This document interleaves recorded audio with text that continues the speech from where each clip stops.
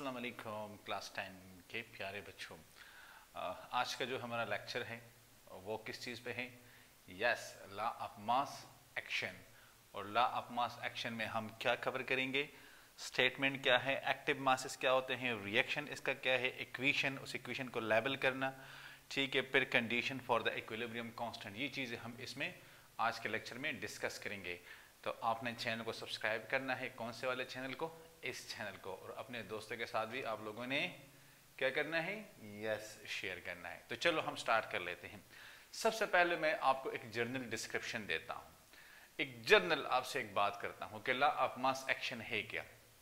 ये हमारे पास जो इक्विलिब्रियम कंडीशंस होती है, ठीक है, कि जो मुख्तलिफ़ किस्म के केमिकल रिएक्शन हमारे पास होते हैं तो उस केमिकल रिएक्शन के कंडीशन को ये डिस्क्राइब करता है। ठीक है, किस तरह? तो हमारे पास मुख्तलिफ़ किस्म के केमिकल रिएक्शंस होते हैं। तो मैं लिख देता हूँ कि ला ऑफ़ मास एक्शन तो क्या करता है? ये रिएक्शंस को डिस्क्राइब करता है। उसके जो कंडीशन होती है, उसको किस चीज़ को डिस्क्राइब करता है? ये जो कंडीशंस होती है। ठीक है, अब अगर हमारे पास कोई रिवर्सिबल रिएक्शन होता है कि जिसमें रिएक्टेंट्स और प्रोडक्ट्स मतलब यह है कि फॉरवर्ड और बैकवर्ड दोनों तरफ़ से रिएक्शन होता है, उसमें केमिकल इक्विलिब्रियम इस्टेब्लिश हो जाता है। तो उसको फिर किस तरह इन्होंने मतलब यह है कि हाईलाइट करना है?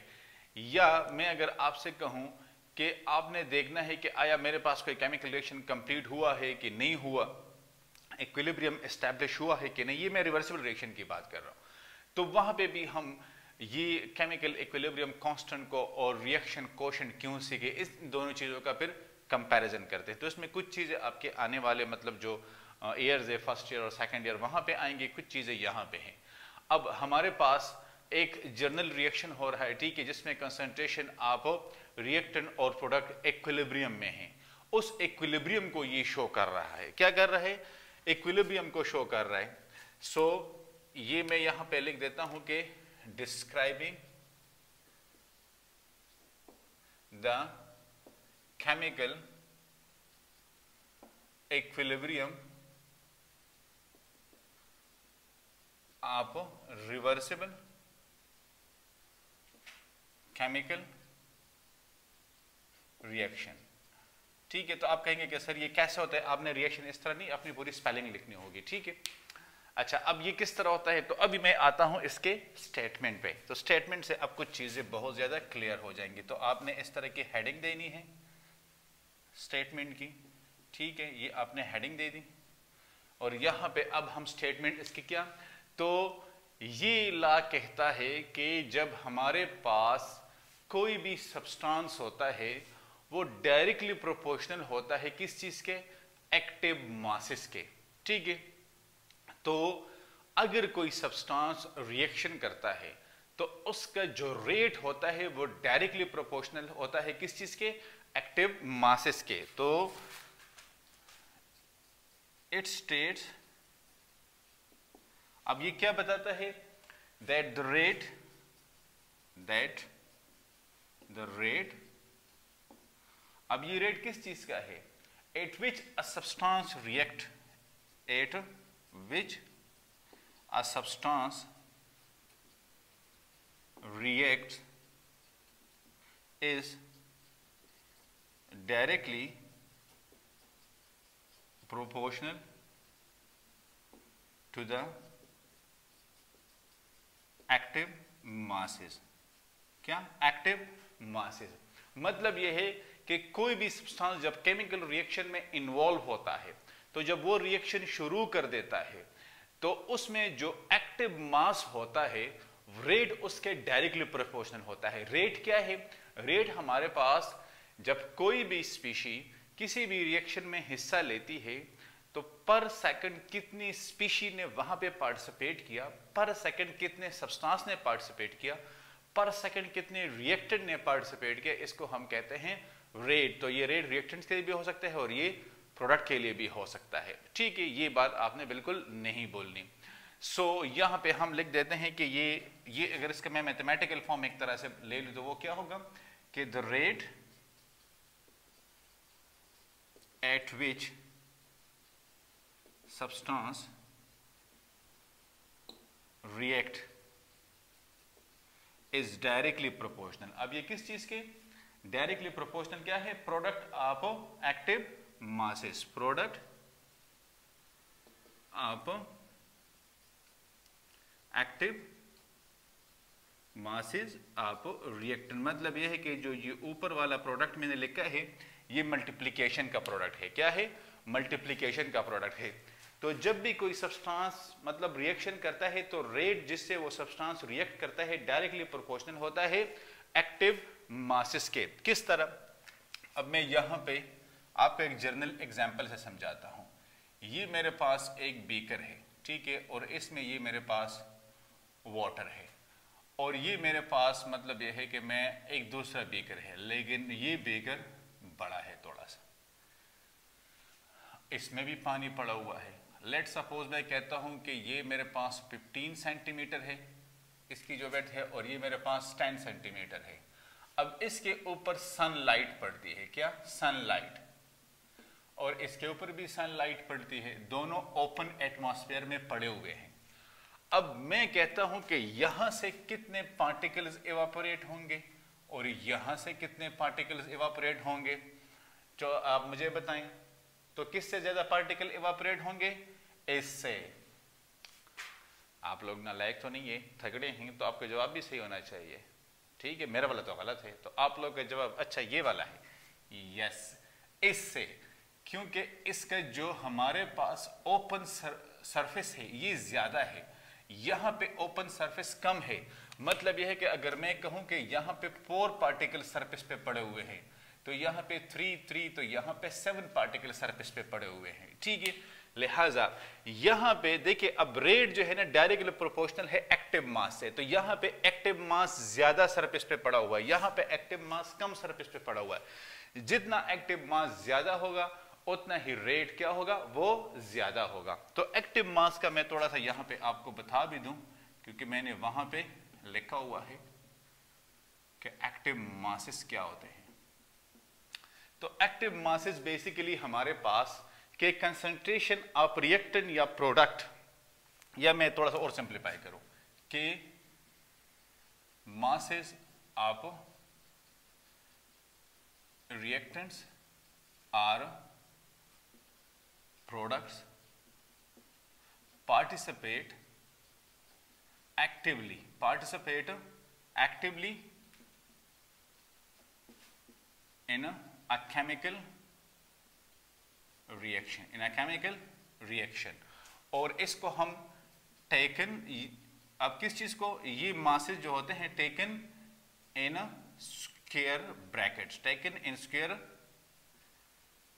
brackets और वो किस तरह के होते हैं? वो इस तरह के होते हैं, जो कि C के बराबर होता है और ये C n बाई वी के बराबर है। C यहाँ पे कॉन्सेंट्रेशन है। क्या है? कंसंट्रेशन है। एन नंबर ऑफ़ मोल है और वी वॉल्यूम है। ठीक है तो ये ब्रैकेट्स होते हैं। आगे ये ब्रैकेट्स आएँगे, आपने बिल्कुल भी परेशान नहीं होना, ये मैं आगे आपको बताता हूँ। तो यहाँ तक मेरे ख्याल में चीज़ें आपको क्लियर है। क्लियर है चीज़ें? देखिए, ये जो हमारे पास लेट सपोज़ ये एक सब्सटेंस है, ये मैंने इसको ब्रैकेट में लिया। ये एक सब्सटेंस है, इसको मैंने ब्रैकेट में लिया। अब इस ब्रैकेट का मतलब क्या है? सी और सी कंसंट्रेशन है एन बाई वी तो इसका यूनिट क्या आएगा? मोल पर डीएम क्यूब तो मतलब यह है कि इस जो ब्रैकेट का यूनिट है, वो है मोल पर डीएम क्यूब और वन डीएम क्यूब बराबर होता है वन लीटर के। किस चीज़ के? वन लीटर के और वन डीएम क्यूब बराबर होता है वन थाउज़ेंड एम के। ठीक है? या वन थाउज़ेंड मीटर क्यूब के। ठीक है? ये हमारे पास आ जाता है क्या? यस। ये इसके मुतालिक जो थोड़ी बहुत डिटेल है कि एक्टिव मासिस तो जो मास पार्टिसिपेट करता है एक्टिवली, उसको हम कहते हैं एक्टिव मासिस। इसको हम ब्रैकेट्स में लेते हैं, ठीक है? और ये इसके जो यूनिट है, वो है मोल पर डी एम क्यूब। सी से हम इसको डिनोट करते हैं। अभी हम जाते हैं इसके जो फर्दर एक्सप्लेनेशन है, उसकी तरफ़। आप इसका स्क्रीनशॉट ले लें।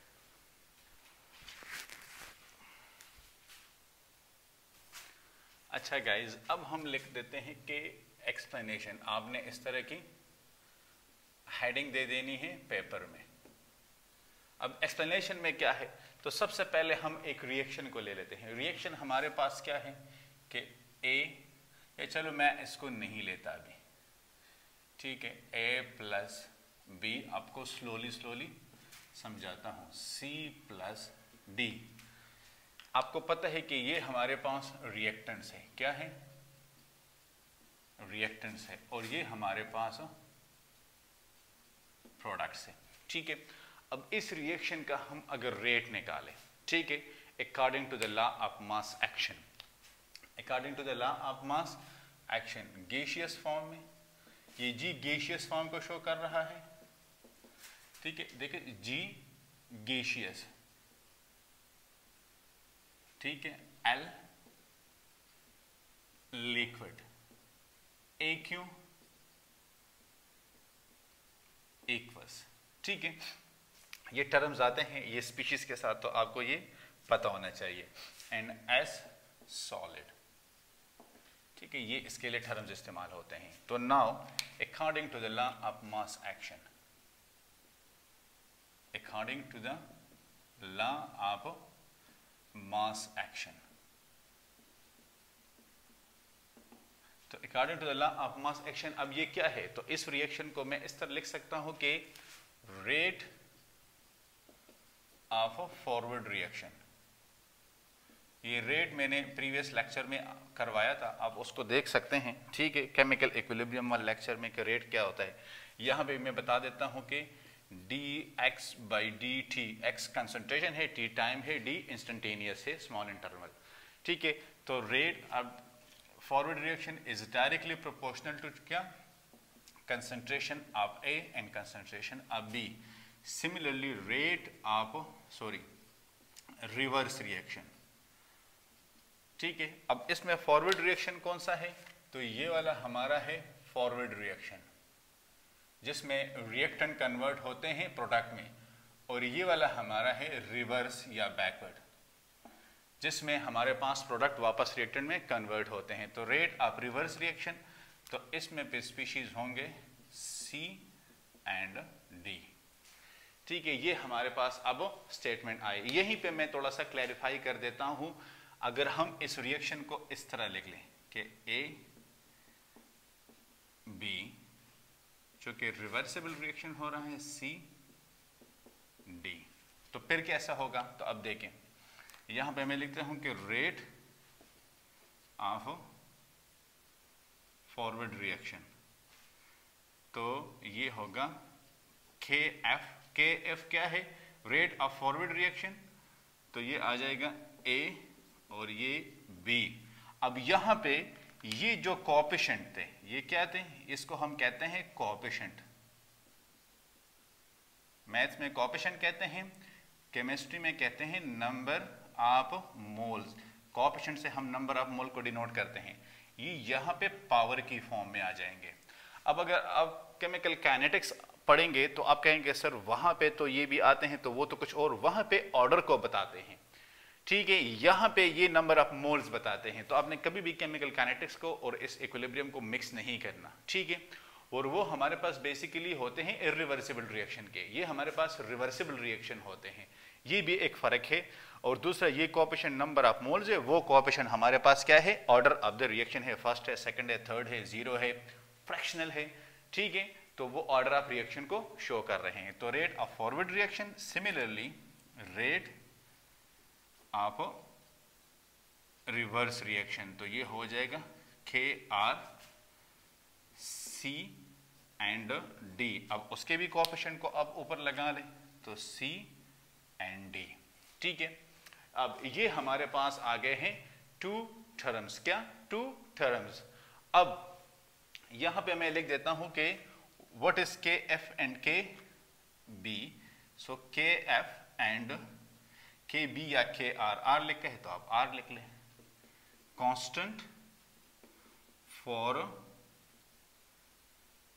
forward and reverse reactions ठीक है? Constant for forward and reverse reaction अब हम बात करते हैं कि एट एक्विलिब्रियम क्या होता है। तो आपने यहाँ पे लिख देना है कि एक्विलिब्रियम पे क्या होता है। तो इक्विलिब्रियम क्या है? कि लेट सपोज़ आप जो है ना वो एक झूले पे बैठे हुए हैं, इस तरफ़ भी तीन लोग हैं, इस तरफ़ भी तीन लोग हैं तो दोनों साइड के जो वेट है वो बराबर है और ये बिल्कुल सेंटर में है। आई समझ में बात? तो ये हमारे पास केमिकल इक्विलिब्रियम होता है कि जिसमें ये वाला हिस्सा और ये वाला हिस्सा दोनों बिल्कुल इक्वल हो। तो लिहाजा ये हमारा आ गया है क्या? यस कि एट एक्विलिब्रियम तो at equilibrium rate of forward reaction rate of forward reaction K F will be equal to what yes rate of reverse reaction K R ये दोनों तो मतलब ये है कि के एफ़ और के आर ये दोनों आपस में बराबर होते हैं। क्या होते हैं? बराबर होते हैं। तो यहाँ पे मैं लिख सकता हूँ कि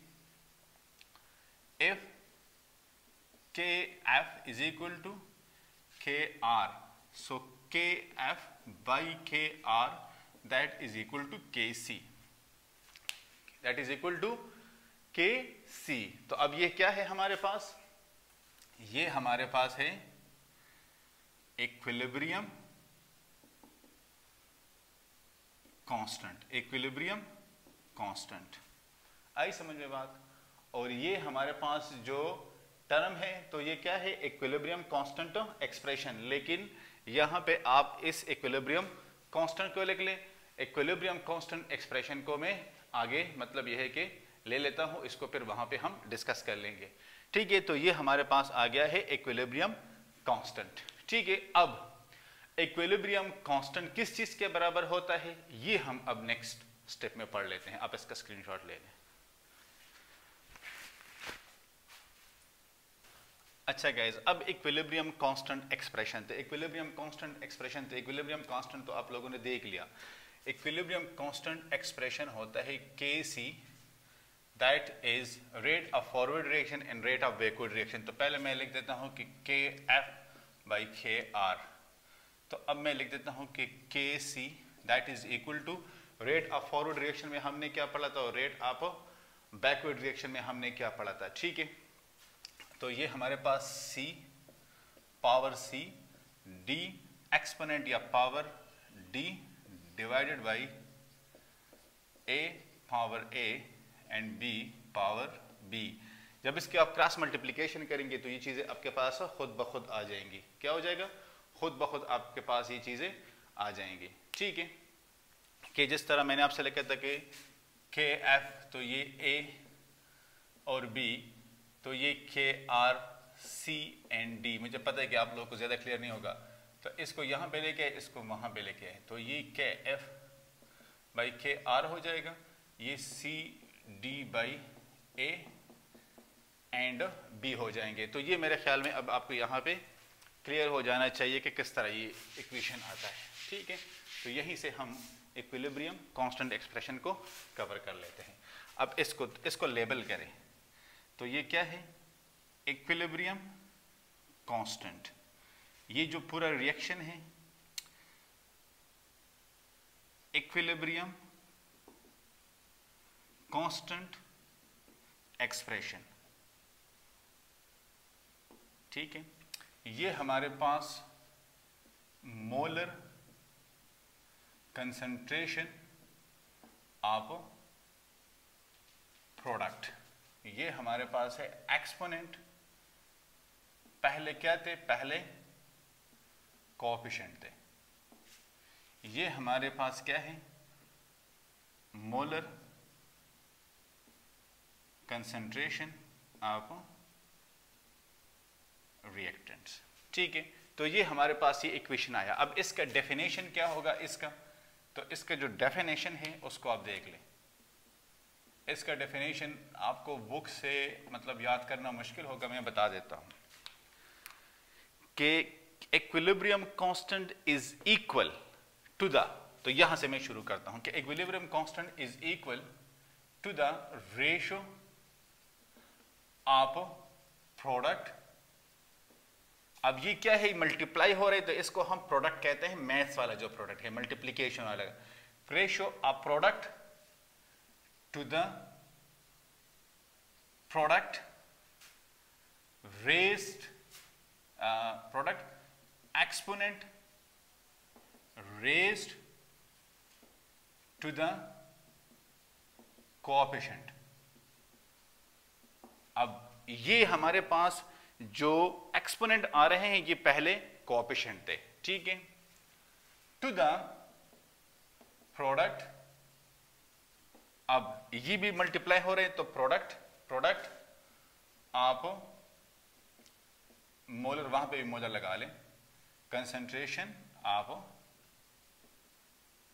रिएक्टेंट्स ठीक है, क्योंकि ये पहले रिएक्टेंट्स थे तो देखें it is the ratio product to the product raise to their exponent to their coefficient to the product of their reactant raise to the exponent of their coefficient ठीक है?